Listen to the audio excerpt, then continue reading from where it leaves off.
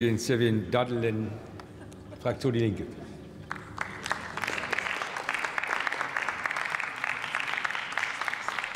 Die Kollegin war überrascht vom schnellen Ende. Deshalb.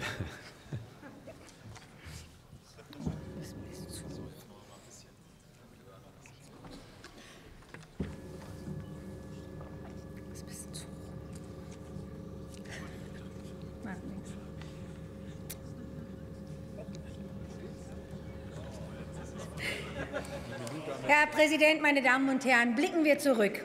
Was ist der Grund für die Katastrophe, aufgrund derer jetzt die Bundeswehr im Rahmen der EUNAVFOR-Mission im Mittelmeer vor der libyschen Küste aktiv ist? Der Grund ist der völkerrechtswidrige Angriffskrieg der USA und NATO unter Missbrauch und Verletzung eines UN-Mandates im Jahr 2011. Und es war richtig von FDP-Außenminister Westerwelle damals, diesem Mandat nicht zugestimmt zu haben in der, im UN-Sicherheitsrat. Die US- und NATO-Intervention haben Libyen in eine Hölle auf Erden verwandelt, wo selbst die Sklaverei wieder zurückgekehrt ist. Bis heute hat die Bundesregierung diesen völkerrechtswidrigen Angriffskrieg nicht verurteilt. Kein Wort, kein Wort zur perfiden öffentlichen Freude der damaligen US-Außenministerin Hillary Clinton über den bestialischen Mord an Muammar al-Gaddafi. Auch dieses Schweigen macht das bemühte Eintreten der Bundesregierung für das Völkerrecht und die Menschenrechte international schlicht unglaubwürdig. Jetzt heißt es, die Bundeswehr wäre da, um den Waffenschmuggel nach Libyen zu unterbinden. Diese Zeilen im Mandat müssen aber der Bundesregierung eigentlich die Schamesröte ins Gesicht treiben.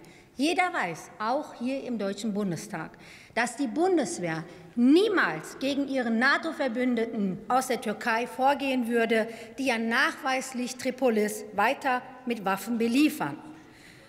Und Herr Pistorius, Sie sagen, wenn der Dieb doch im Fenster einsteigt, dann muss man doch die Türe da nicht offen halten. Das Problem ist doch, Sie wollen zwar vielleicht die Vordertür schließen, aber die ganze Hintertür, die ganzen Luft- und Landwänge sind doch sperrangelweit offen. Das ist doch der Widerspruch in Ihrer Argumentation.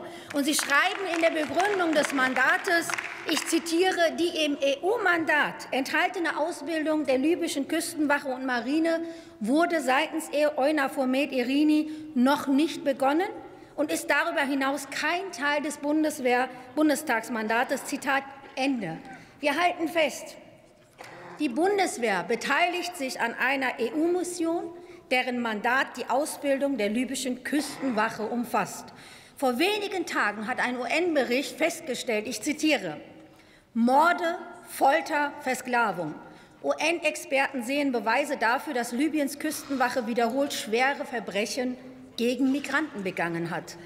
Sie wird seit Jahren von der EU mit Logistik und Finanzen unterstützt. Die Europäische Union hat mit ihrer Unterstützung für die libysche Küstenwache Beihilfe zu Straftaten geleistet. Zitat Ende. So heißt es in einem Bericht der Tagesschau. Und ich fasse zusammen. Die Europäische Union unterstützt Verbrechen gegen die Menschlichkeit, und Sie machen hier einfach weiter, als gehe sie das alles nicht an. Und da können die Grünen jetzt noch so viele Nebelmaschinen anwerfen.